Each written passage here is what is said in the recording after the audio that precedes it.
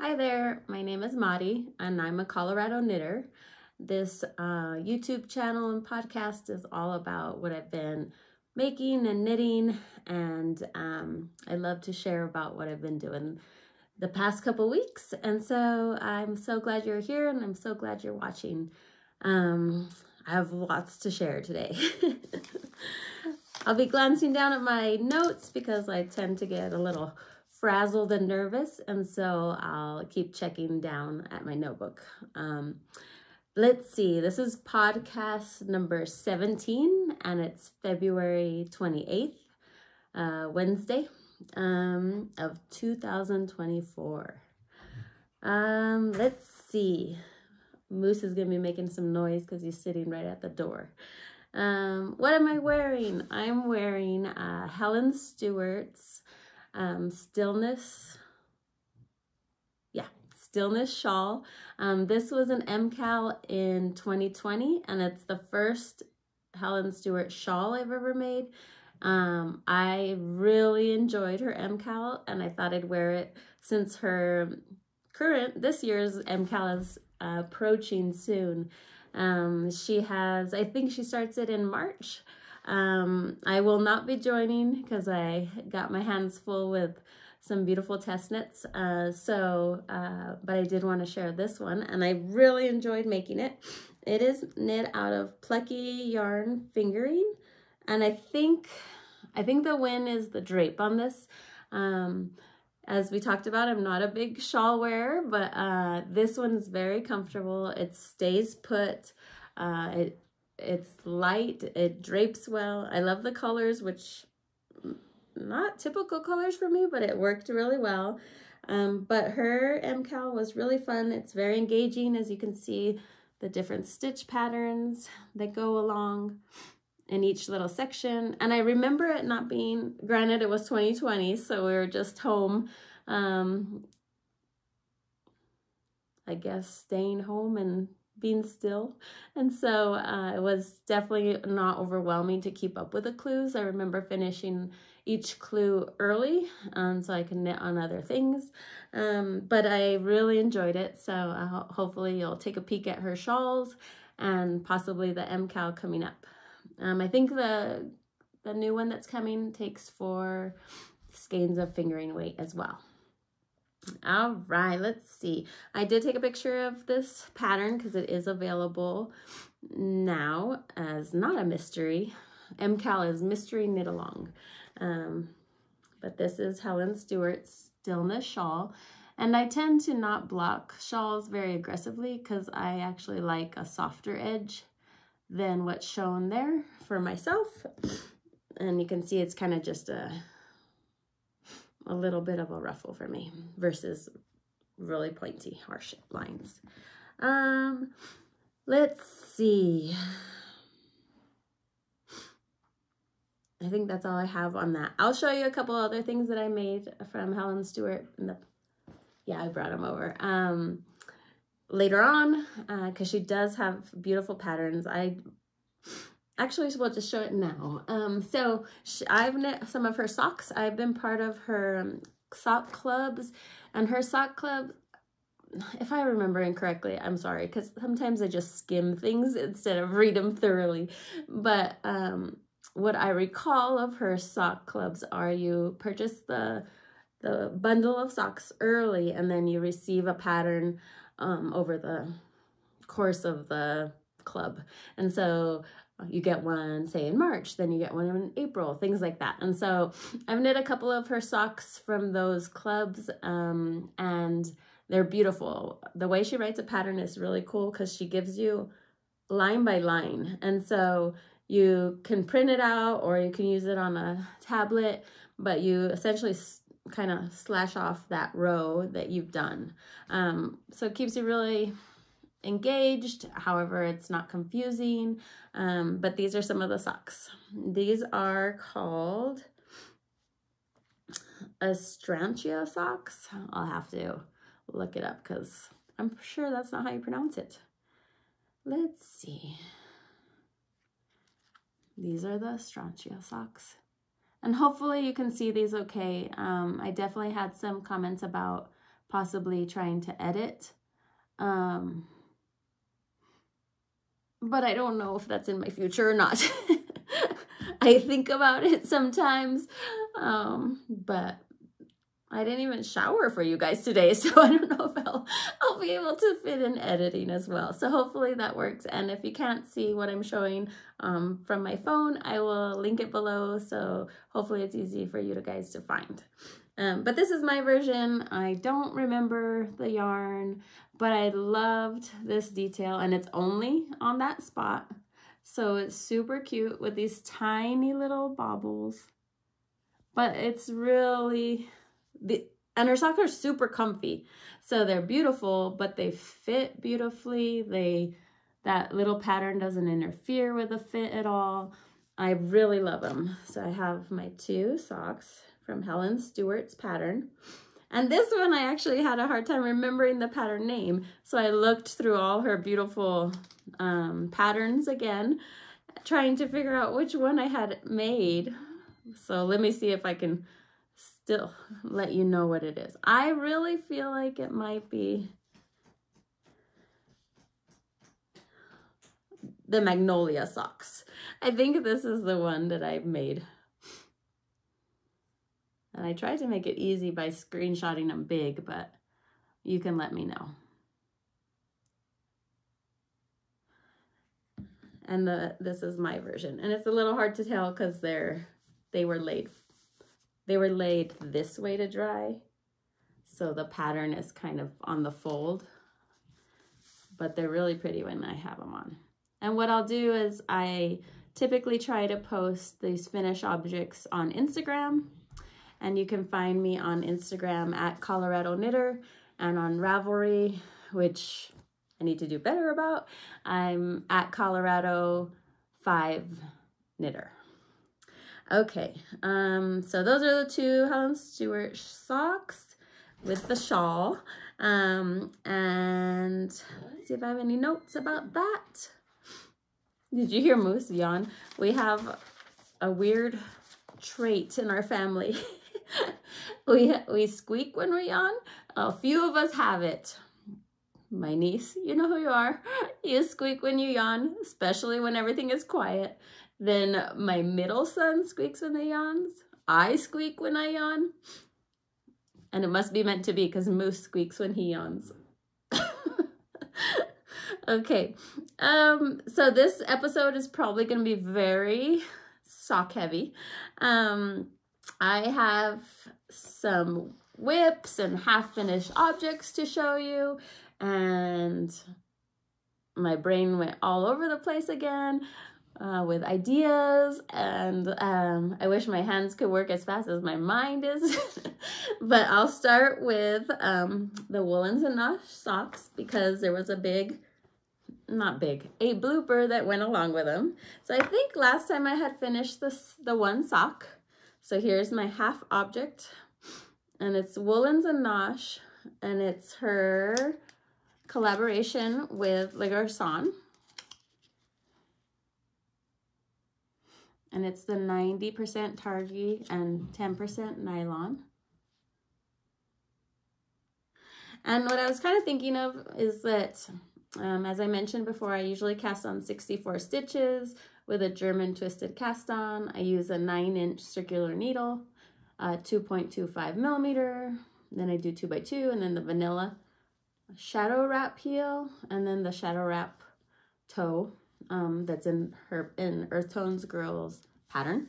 Um, but what I was thinking about is sometimes I like to use the self-striping on the cuff as well. But the benefit of using a contrast cuff is that you don't have to have a, the single line or it's easy to find your beginning of the self-striping um, because you don't have to have such a long tail. Let's see if I have the second one. So here you can see I was able to start right at the blue versus having a peak of that orange, which I like the peak of the orange as well, um, but it was just something that dawned on me when I was making this third leg and you'll see why. but so this is where I'm at. And what happened was we were visiting Donnie's sister and I was cruising along with the leg. And then I uh, was ready to do the heel. So three legs. And I had more than 32 stitches for my heel. So if I'm casting on a 64 stitch sock, half of the sock is usually for the heel. Didn't notice that I had 68 stitches until I got to the heel. And so I was thinking, uh, it'll be fine. It'll be fine. I'll just have one sock that's wider. And then it's not fine. And so I stopped and I, going to come over. Are you to come say hi? Well, come on. I don't know if you're going to be able to see him. Oh no, you're going to sniff everything. Moosers, come here. Come here. Moose, here. Come on. Can you see him? Stop. you see his big head? Okay, he's going to sniff everything. We'll see what happens. I may have to actually learn to edit. Can you sit down? No, you can't. Um, and so anyways, I decided to do the leg again. And I'm saving this and seeing if I can get this much leg for a second one from whatever I have left over. And the foot will be something different for Donnie. Um, or I'll just hang it on my swatch wall and call it good. So that was a silly blooper for those Woolens and Nosh socks. Betty, you're gonna have to sit down. Um, the next sock I want to show you is super fun. Can you sit, buddy? Let's see if I have to let him out. Um, the second sock I want to show you, I also started when we were visiting Donnie's sister. And this is um, one of Summer Lee's patterns. It is called the Hibernal Sock. Let's see. Oh, did I not take a picture of this one for you? I'll have to look it up. So the Hibernal sock is a pattern that Summer Lee has out. Um, and she's had the fingering weight sock out for a while, but then she made a DK version. And this is Summer Lee Knits pattern. And so I had this yarn for a while. And sometimes with the DK socks, when I got used to the fingering weight socks, I didn't really know um, maybe the numbers to use for DK.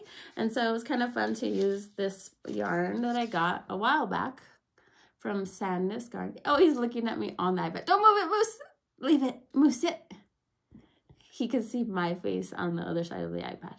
Um, and so it's, this is Perfect Yarn from Sandnes Garn and it's superwash and it is 80% wool and 20% nylon. And I had two colors and so this little gray was not planned, but so Summer Lee likes a really long leg, which I like a long leg too, but I'm short and I have not long lean legs. I have pretty big calves. And so um, it's a little too long for my legs. So I'll have to cuff it and then in the future make a little shorter of a leg for myself. Because what happened is I actually ran out of the one skein of this light gray. And I saved the second skein for the second sock. And so I did luckily have the dark gray, so I was able to add it exactly at the toe like it was planned, but it was not planned. And this guy's a little damp still because I did soak it last night, but fun. It feels great. Um, it doesn't feel super, super washy, um, but it's a, it's a nice sock yarn. So it has a really cool pattern. And this is the hibernal stitch pattern. Um, I forget what the stitch itself is called, but it's very easy to memorize. You get into a rhythm. It's just a four row pattern uh, no cable needle. It's a, I, I found it a little bit, uh, I use the nine inch circulars. And so using a three, US three on a nine inch circular with kind of that thicker DK yarn, um, I definitely found it to be more difficult to get that slip stitch. I'm gonna let him out. I'm not gonna pause it. I'll be back.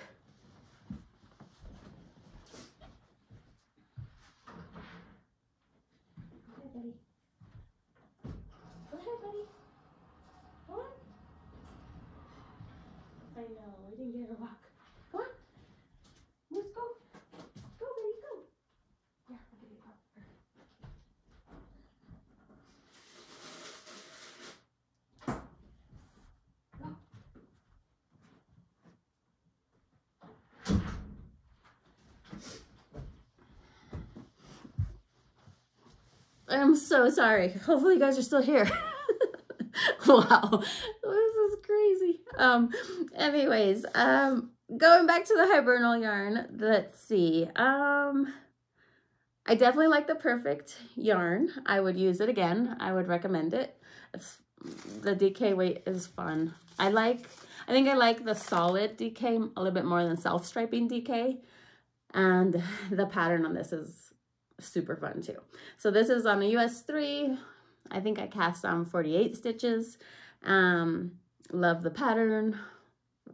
Love it so much that you'll see that I, nope, it's in the car. But I am knitting the hibernal hat now with the beautiful yarn that Rachel gave me in North Carolina. Um, but I'll have to show it to you next time because I took it for the kids drop off today. Um, okay. I did, well, another half object.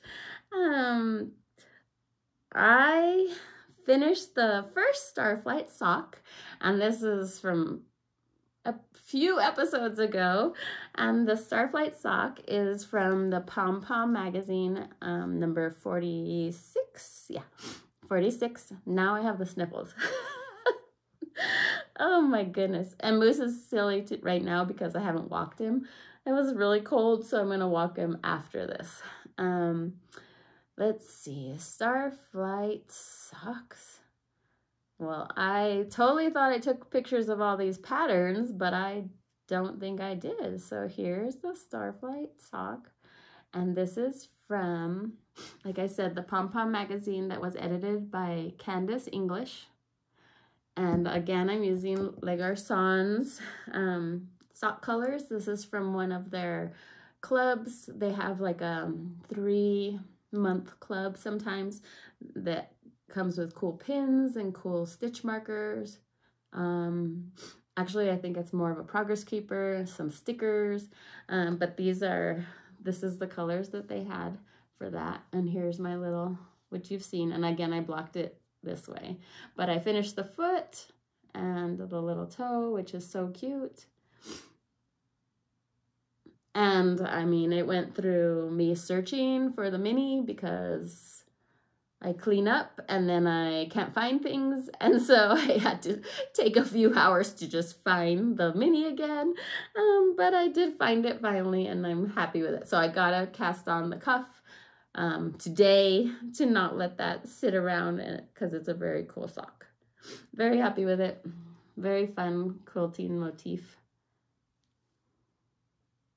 And then it has like a little bit of a textured foot. I'm not sure how much you could see, but it's called a quilt stitch on the foot. Again, not hard to memorize and kind of read your knitting. Um, so super excited about those. Um, okay. Whew. um, all right, and so I'm still pretty hooked on test knitting, and I love Alicia Plummer's designs so much. I have very good luck with them fitting well. Um, I have a good time getting gauged with her patterns, and so I am um, test knitting for her again. So I'll start on my WIPs now because a half finished object like one sock is considered an FO, at least in my book.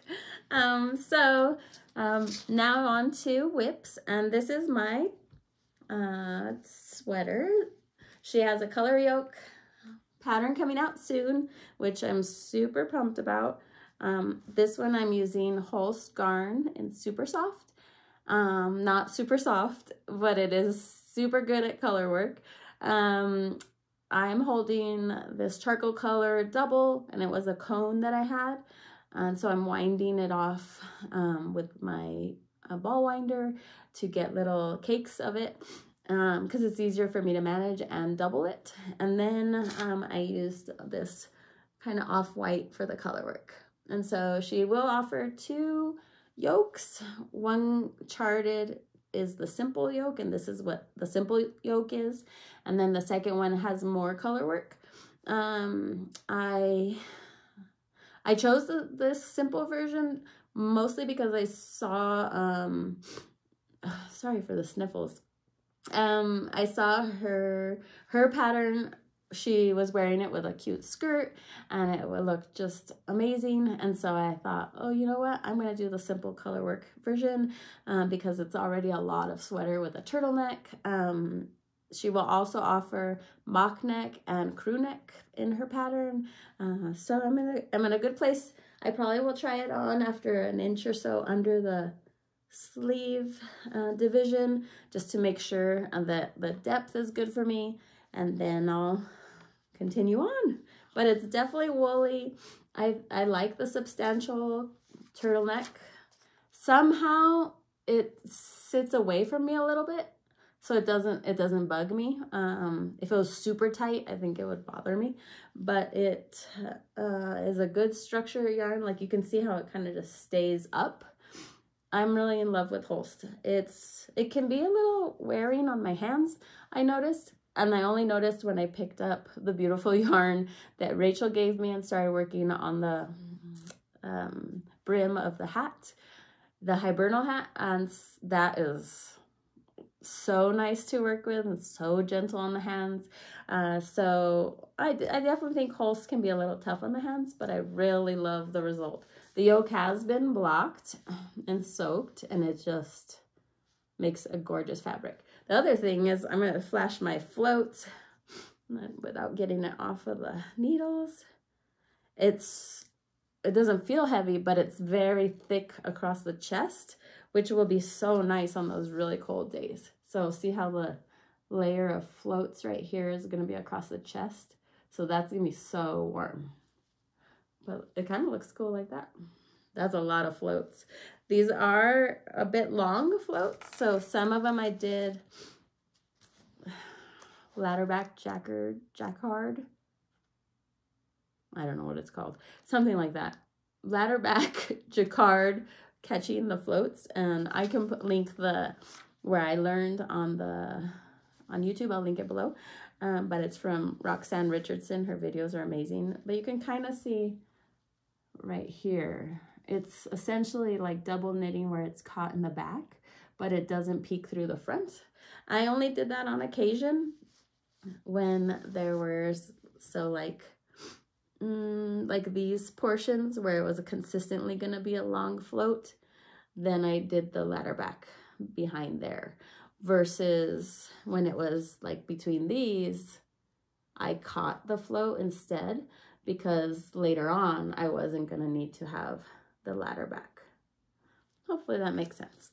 But I will link that YouTube video below because she's a wonderful instructor and I, I learned how to do that and it's not as complicated as I had imagined. Um, it's actually uh, pretty satisfying. So um, that is, currently it's called Scotch Bloom, I think, but I'm not sure if that's going to be the name. But everybody, all the testers are lovely. There's beautiful combos out there. It's just endless possibilities. Um, let's see. Oh, every pattern I learned something new. This one I realized, so here's the other swatch I had done, which was my beginning. It wasn't a swatch, but I had done the short rows incorrectly, meaning in the wrong portion of the back of the sweater. Well, then I realized that I, all these years I've been catching or doing my short rows incorrectly when I resolved them. So the short rows I had done incorrectly are when I wrap and turn on a purl row, and then going back to resolve it on the knit row, I've always just knit through both little strands. Well, I'll link it below, but there's a YouTube video on how to do that correctly. I wouldn't uh, reorient the strand that was wrapped to make it invisible, and I learned that on this knit, so that was good. I didn't realize I had been doing it wrong forever. Uh, let's see. Okay, I can't show you the hibernal hat because it's in the car. And I won't make you wait for me while I go walk away again. Um, I have a test knitting problem. I'm completely addicted. But I did sign up to do a second sweater for Alicia Plummer and I will show you my swatch because that's as far as I've gotten so far. And it's in this cool bag. I always forget who they're from. Jenna Rose. They're my favorite, or little baskets. They're my favorite because I can just have them kind of on the ground. Like I said, I like to tension my yarn from below me. So I put these on the ground, but it keeps my knitting clean when Mr. Moose walks in. Um, but I, uh, oh, here's my swatch. So it's a cool textured pattern she has coming out. It'll be a pullover. She uses um, Alpaca 3. I think it's by Isager. Um, but I am really working through the supplies I have. Um, and so it, it weighs nothing. And so what I did is I am going to use this skein of yarn with some mohair. So this is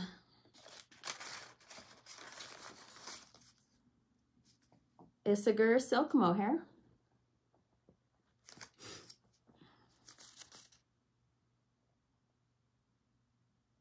And it's 75% kid silk mohair and 25% silk. And then I had enough of this, which is called Warmi. And since she used alpaca, this one is a combination of 75% baby alpaca and 30% merino wool. And so hopefully this will work as the combo. Um, and it's not my best color. It's the gray, but I will maybe wear a collared shirt under or um, wear a lot of blush. but I definitely like the fabric. The texture is fun. It's on a US 10 needle, so that's crazy. And it's completely opposite. This is super woolly and amazing. And this is super soft and amazing. So it's fun to have the, the different variety going on the needles. I'll probably cast that on. My plan is tomorrow. We'll see. Okay. I will show you another WIP. And this little guy has been done for a while. Actually, that's not even true. I have had the double pointed needles sitting on this arm forever, like months and months, just to finish his arm. So I finished it really quick last night. And he's he's a cutie patootie, and he is The Good Bunny by Susan B. Anderson. And let's see uh, if I can show you her picture. So this is the Good Bunny pattern and it's on Ravelry. Again, I'll link it below. And then I have some other pictures of him or her. And she, there's a, the pattern for all the clothes. So I will be making those next because we can't have Mr. Bunny Naked Poo. And he, this is when it's totally dressed. So this is going to be on my table because we're approaching Easter.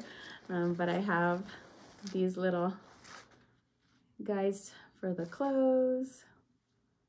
And I need to embroider his face. They're such pretty colors. And her kits come in these amazing bags. So you can keep everything together and tidy when you decide to stop making them like I do. So it lives in there and then it has Good Bunny and she usually provides the pattern code when you purchase the, the kit.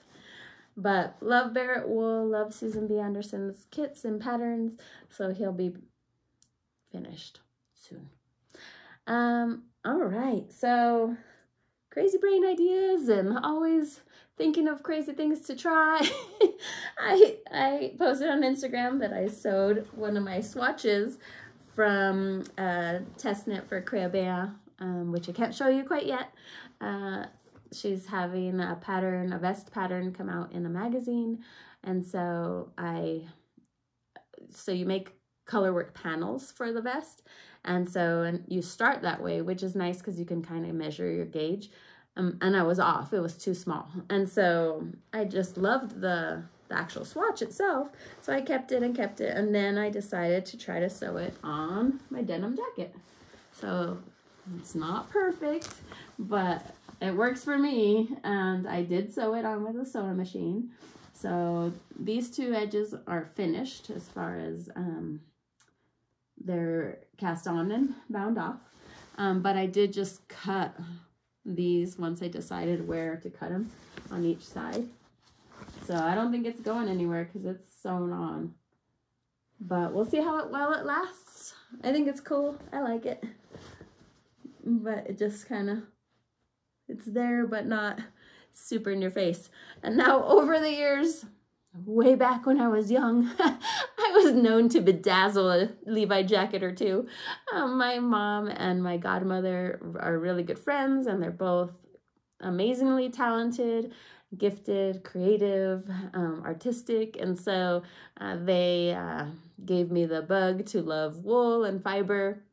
And so just watching them over the years, try new things and just be creative, uh, they're definitely my inspiration. Um, and so they, I remember bedazzling my Levi jacket full of buttons. I could use my mom's buttons, my godmother's buttons, and we just covered the, I mean, the thing was so heavy, but I was super proud of it. So it definitely took me back to that time when I bedazzled my Levi jacket. Bedazzled is very loosely said because it was all bus buttons and very rustic looking. let's see. Um, oh, since I used the swatch for this whole jacket, I started making me think about my swatches more because eventually I'm going to run out of space back there. And so it, what caught my eye was the swatch bag.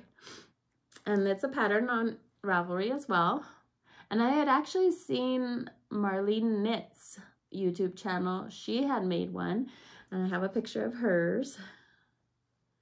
And hers is beautiful neutral tones.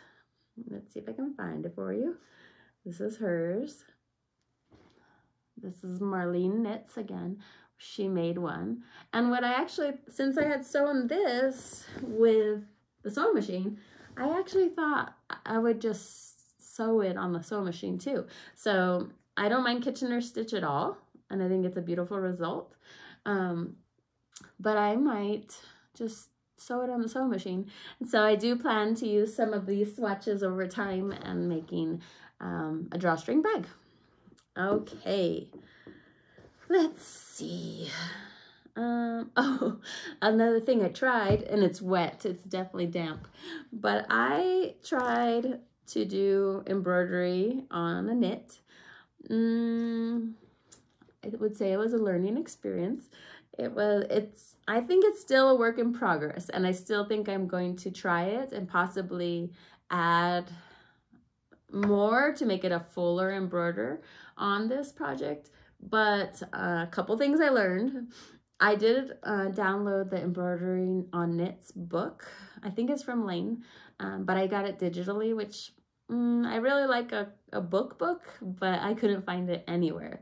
And so it has some beautiful pictures and photos and tips. Um, I did use a embroider stabilizer. So like this is it, where you peel this back off. You print, you can print or draw on here, then you peel the back off and then you stick it onto your embroidery. Now this one is an iron on, so you kind of give some heat so it glues on temporarily. Uh, and so I did do that. What I discovered is um, I was using my Musselburgh, Musselburgh hat as a template for it. I felt like the glue kind of stuck to the mohair a little bit more, so I was, had to really kind of work it in the water to try to get it off. Uh, so in the future, I think I would not use an iron-on one, maybe, uh, more of a sew-on template, and then a hoop, an embroidered hoop. I did not use a hoop this time. Uh, I think I would next time uh, just to hold my stabilizer in place and make sure that I'm not um, maybe catching the knit so that it was crunched and no longer stretchy. Uh, but I will try it again and I may even try it again on this. I haven't decided if I'm going to take this one out or add more to it because maybe what I don't like is that it's too muted, but this is what I have. I don't even know if you could see it. I can barely see it. But I'm loving the hat. Um, and this is not a loss, it's just practice because to be honest, I could just take it out. It's easy to clip. I did use the Spin Cycle Grumpy Birds, but I had a hard time embroidering with the mohair also. It was too sticky, I think. Um, the other thing I thought of was maybe making it with just the strand of mohair, even if it was a colored mohair. Um, so I'm going to keep practicing. Ideally, it would be better to embroider on the hat before it's finished because you have, you know, this mess inside. But the downfall of that is you're not quite sure where you want to put your embroidery because you haven't folded it in yet. And so pros and cons. Um, so I haven't quite figured out what I want to do with that. The other thing is some of these are a little too long where they catch. So maybe it needs to be tighter. Again, the embroider hoop could have helped with that. But this is that embroider on knits book. Um, I'll show you the title, the cover page, just in case anyone was interested in it. Let's see, where can I find it? I might not be able to find it. Um, but it did have templates, which is kind of nice. Um, embroider. Yeah, it is Elaine mag Elaine Publishing. And this is it.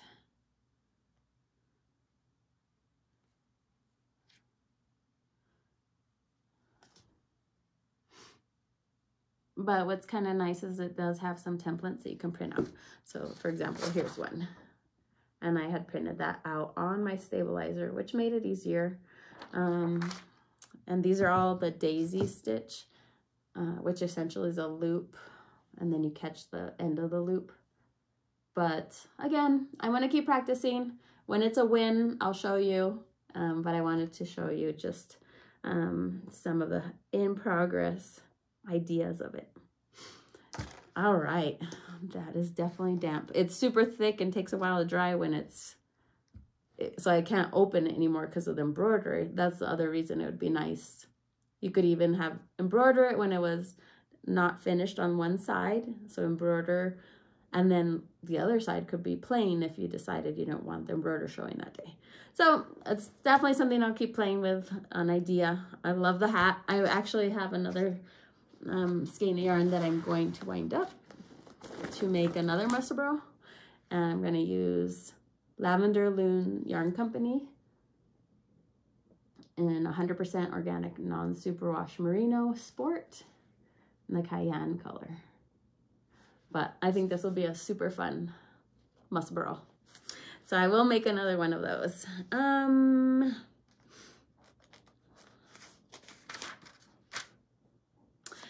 Okay, the pattern that I added to my library this week, as if it was just one, but I will show you what I added. I added the Taos socks. And I posted these on Instagram because I was like, what? This is so amazing. And this is by Brianna Arlene. And I think she's a Colorado knitter too. So um, I did just follow her on Instagram. I hadn't uh, seen her patterns before. I'm super excited. I've been playing with, I think you can use mini, a mini for the color work. Um, but I've pretty much been thinking about this constantly because I can't decide what colors to use. Um, but I really, I really love those. So those will be going on the needles. Hopefully I'll finish some of these single socks. Um, but I have been loving what I've been knitting. I love sharing it with you guys. Thank you so much for your comments and your um, kind words. And thank you for following my, me on Instagram. Um, it's been really fun. It was sweet because my dad um, asked about my podcast and he said, it looks like I'm really having a good time. And I really am. And I have to thank you guys for that. Oh, right. What I've been reading. I finished a book um, that was okay. It was Lisa Jewell's The Family Remains. And this was the second book to, I believe it's called The Family Upstairs. Um, the Family Upstairs was intense, had me um, really wondering the whole time what was going to happen. And I think The Family Re Remains was um, good, but I think I was a little over it. It was kind of the idea of what happened to the those kids from the family upstairs as they grew up. Uh, so it was good, um, but I, I was done. uh, but a good friend just recommended The Women by Kristin Hannah. So I will start listening to that on my moose walks. And um, and she she definitely she she shared it with me with crying face emojis that she loved it. So i'll have to see. Um it sounds really really amazing. So i'm excited to listen to that next.